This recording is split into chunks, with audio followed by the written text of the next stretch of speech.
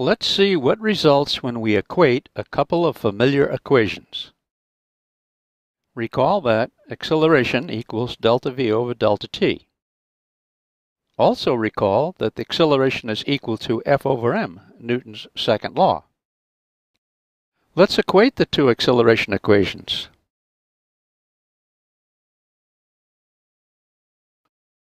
Multiplying both sides by m delta t,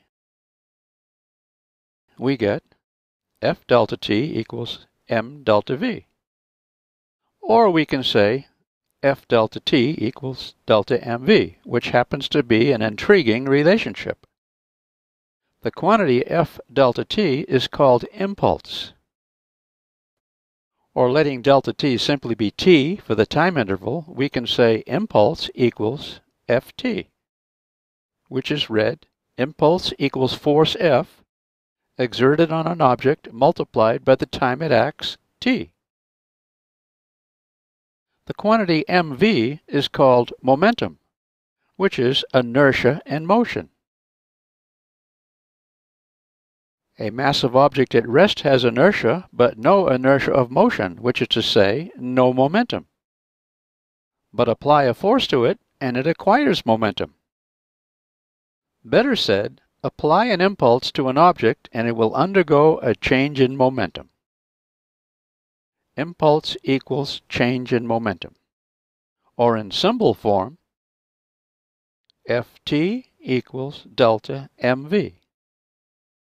We say the impulse exerted on an object changes the momentum of the object. Ft equals delta mv is called the impulse-momentum relationship. Both impulse and momentum are vector quantities. Direction matters.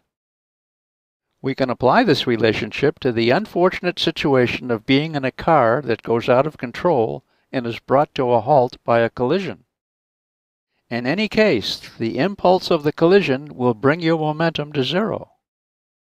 Suppose the collision is with a haystack.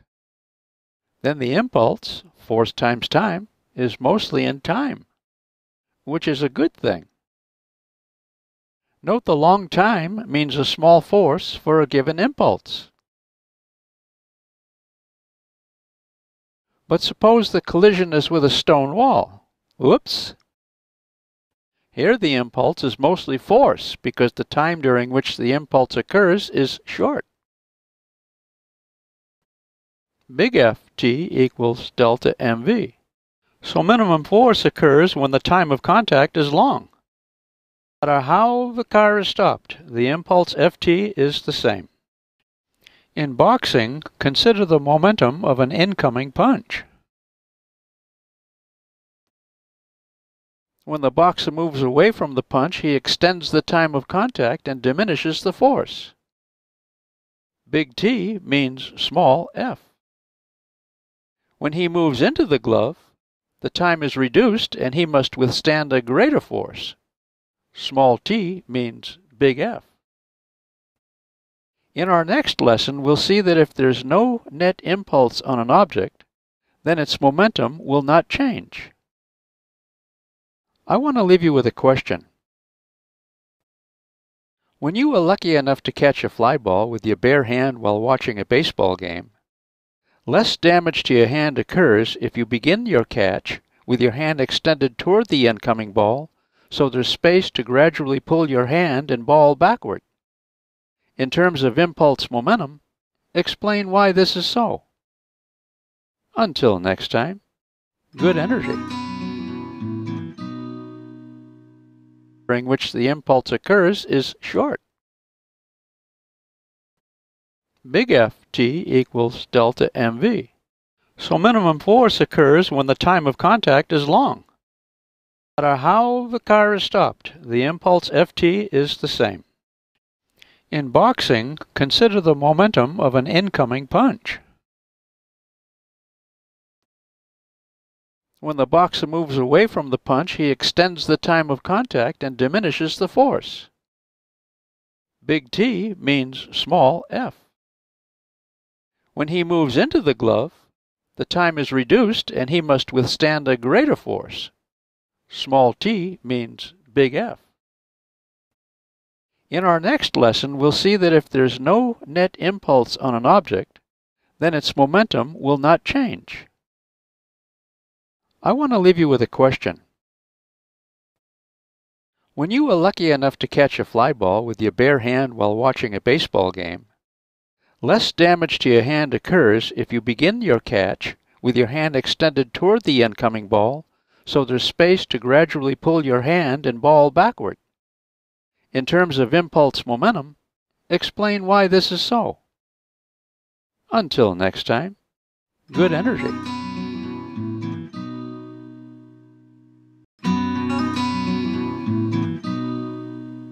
The impulse-momentum relationship tells us that when an impulse is exerted on an object, a change in the object's momentum occurs. So you know that if you exert an impulse on a stationary grocery cart, the cart will gain momentum. Or if you exert an impulse on the cart while it's moving, you'll further change its momentum. Let's refine this a bit. The impulse that changes the momentum of something has to be an external impulse. Only an external impulse changes momentum. If you sit in an automobile and push on the dashboard, the dashboard pushes back on you. There is no net impulse and no change in net momentum. Internal impulses always cancel. To make the auto gain momentum, you'd have to get outside and push from outside. Only an external impulse changes momentum. Now here's the interesting part. If no external impulse is exerted on the auto, no change in momentum occurs. None. No change in momentum means that a stationary auto remains stationary and a moving auto continues in whatever motion it has. The same is true for cars, grocery carts, or whatever. No impulse, no change in momentum. This relates to inertia and Newton's first law. Now consider a cannon being fired. Let's look at a snapshot of the ball partway down the barrel. While a force pushes the cannonball, an equal and opposite force pushes back on the cannon, which causes its recoil. Since this pair of equal and opposite forces occur for the same length of time, the impulses are also equal and opposite. So impulses relate to Newton's third law. This pair of impulses is internal to the system consisting of the cannon and the cannonball. Internal impulses don't change the momentum of the system. Before firing, the system's at rest and the momentum is zero.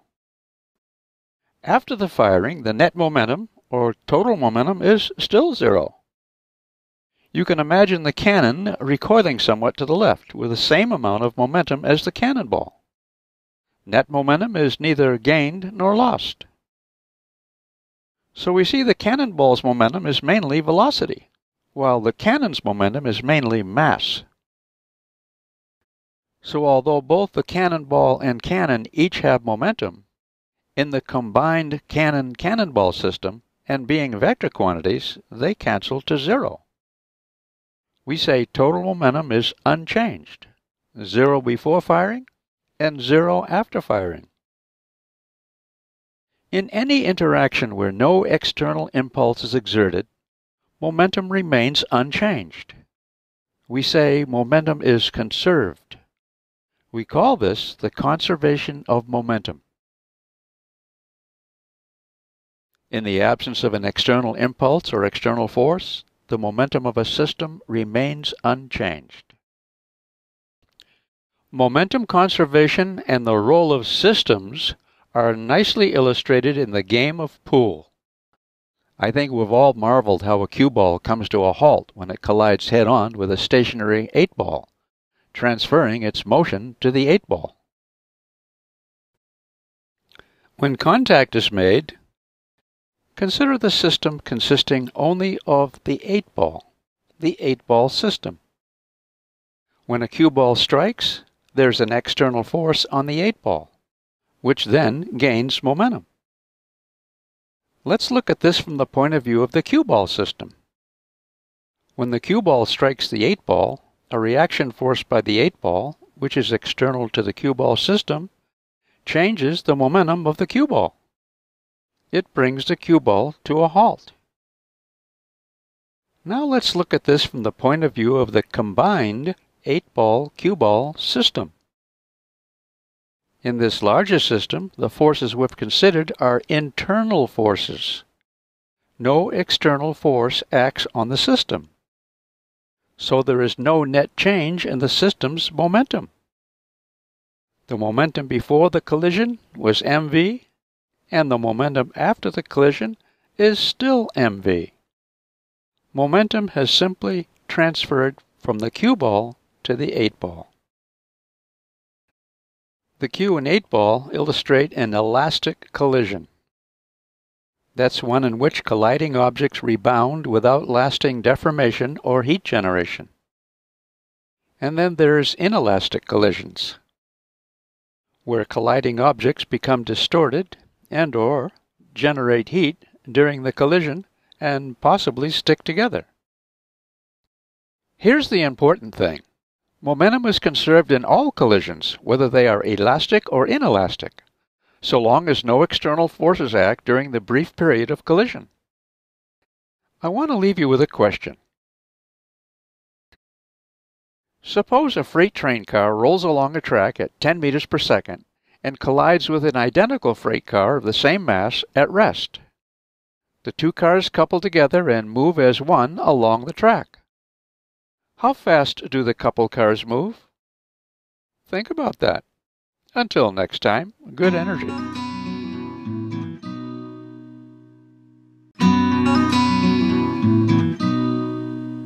Here's an inelastic collision problem that begs for a solution by way of momentum conservation. A 5 kilogram fish swims at 1 meter per second toward and swallows a smaller 1 kilogram fish at rest. Find the velocity of the larger fish immediately after lunch. Ignore the effects of water resistance. Since there's no outside forces acting on the two-fish system, we know that the net momentum before lunch will be equal to the net momentum after lunch. Following the physics, the initial momentum of the large fish is 5 kilograms times 1 meter per second, Add this to the initial momentum of the small fish, which is zero. After lunch, the net momentum is the combined mass times v, what we're looking for. Continuing,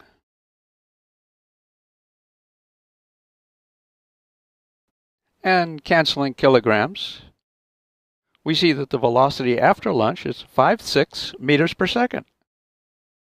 This velocity is in the same direction as the initial velocity of the large fish. We employ the conservation of momentum and come to a solution. Yum. Suppose the small fish is not at rest but swims toward the left at 4 meters per second. Find the velocity of the larger fish immediately after lunch. Again, ignore the effects of water resistance. As before, the net momentum before lunch equals the net momentum after lunch. We have the initial momentum of the large fish plus the initial momentum of the small fish with velocity equal to minus 4 meters per second. And after lunch, we have the combined mass times the velocity v that we're looking for. So we see the initial momentum is 5 kilograms meters per second minus 4 kilograms meters per second in negative direction relative to the large fish, which equals 6 kilograms times v. Combining terms and canceling kilograms, we find v equals 1 6 meters per second. What happens here is the negative momentum of the small fish effectively slows the large fish after lunch. Suppose the smaller fish was swimming twice as fast, at 8 meters per second. Then we make use of our prior calculations, changing minus 4 meters per second to minus 8 meters per second.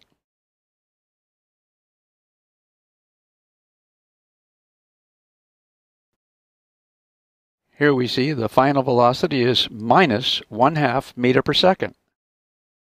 What's the significance of the minus sign? After lunch, the two fish system moves backward toward the left. Yum yum physics, at least according to the large fish. I want to leave you with a question. How fast would the small fish have to swim before lunch to halt the large fish in its tracks?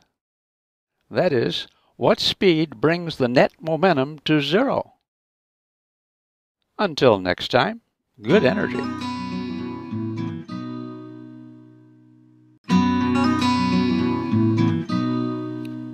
Here's a question that involves a bit of insight and a nice application of some good physics. Freddy Frog drops vertically from a tree onto a horizontally moving skateboard. The skateboard slows. Give two reasons for the slowing. One in terms of force and the other in terms of momentum conservation.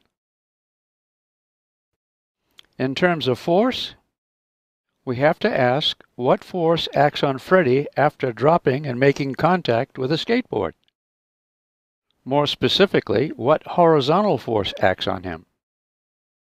Freddy drops vertically with no horizontal component of motion. But when he lands on the skateboard, he is brought up to a speed at which he and the skateboard then move on. A horizontal gain in speed means a horizontal force.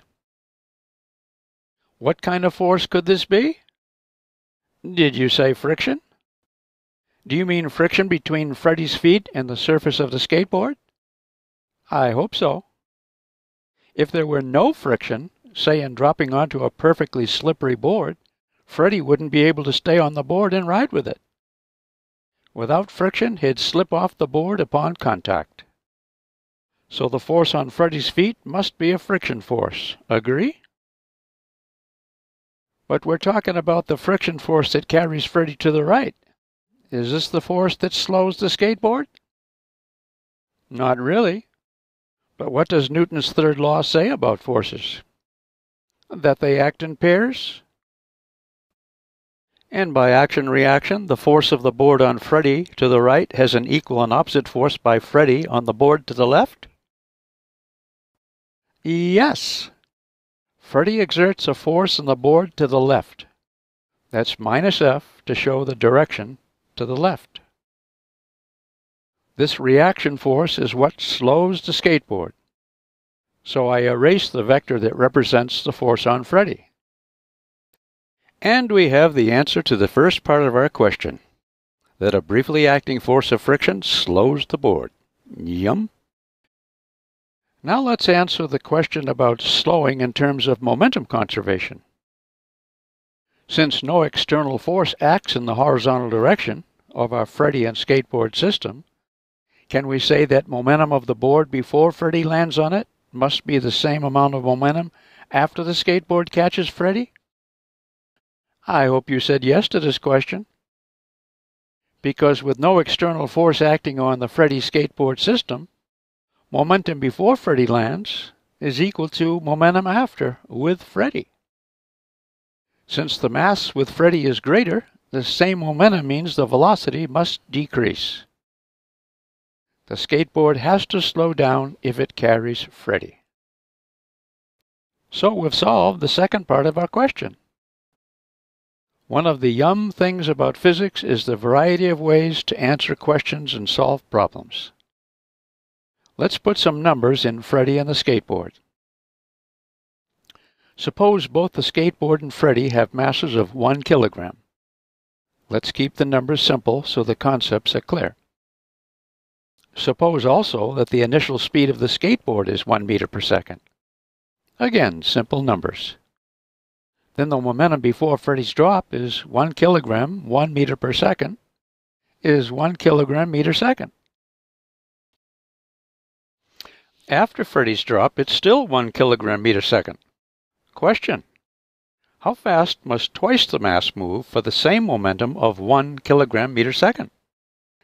I think you can see the board with Freddy moves at half speed, 1 half meter per second.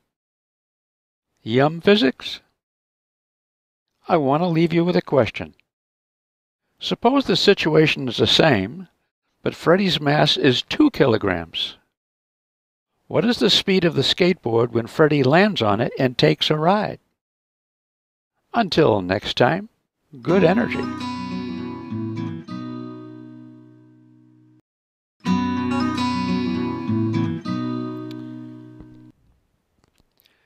Here's a nice application of momentum and energy conservation.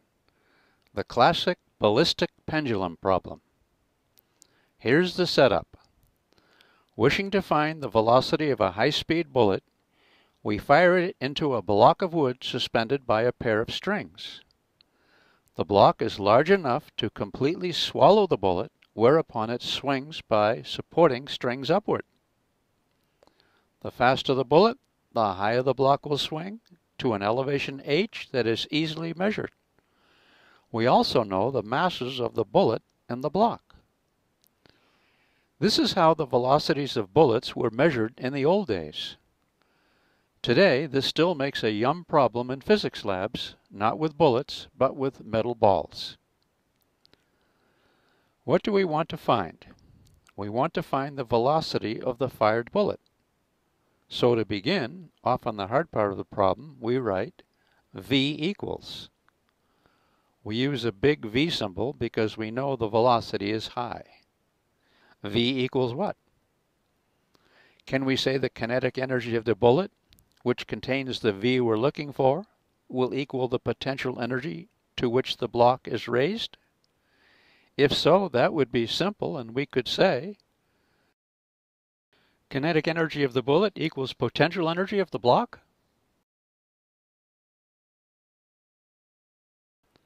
And 1 half m big V square equals m plus m, the both m's, times gh. We can say that solving for v is easy enough. But we can't go that route. Why? Because the kinetic energy of the bullet does more than raise the block, much more.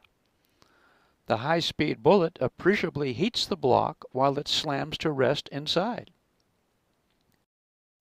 You wouldn't want to put your bare finger into the bullet hole of the block before it cooled.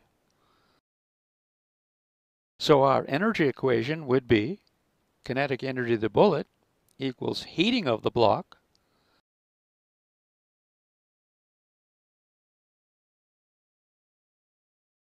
plus the potential energy of the block we don't have information that deals with the heat generated.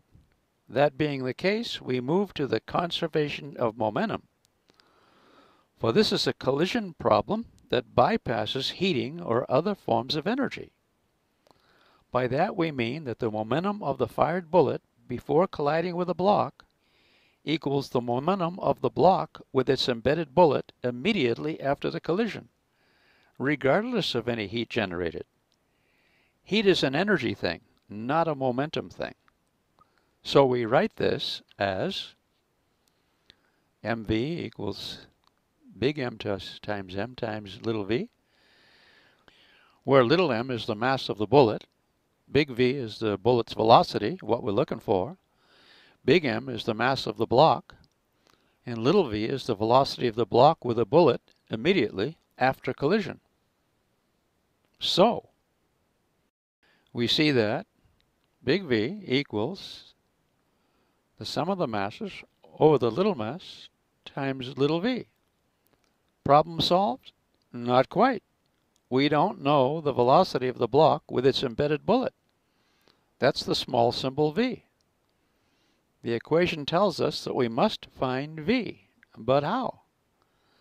Aha, we switch our attention to the conservation of energy. Why? because the kinetic energy of the block, whether heated or not, transfers to potential energy.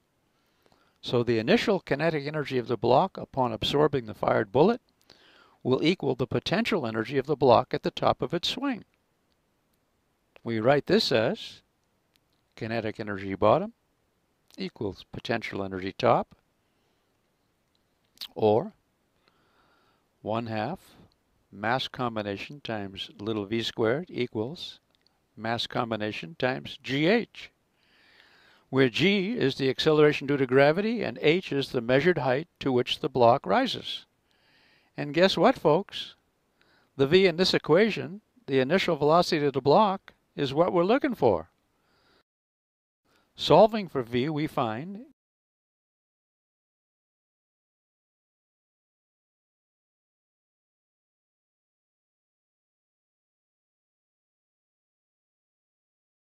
taking the square root of both sides and solving for v only leads us to v equals square root of 2gh. Aha, is this fun or what? Now we substitute this in our equation above. Now our problem is solved, for all the symbols represent known quantities. We know the masses and the height the block rises. You may do this in lab. Then you can put numbers in. In my experience, the raw physics is best seen with its symbols. Solving problems with symbols only may take a bit of getting used to if all the problem solving you've had in the past was numerical. Are we learning? That's the most important thing. Let me leave you with this question. If the same mass bullet were fired at twice the speed into the block, how much higher would the block swing? Until next time, good energy and good momentum.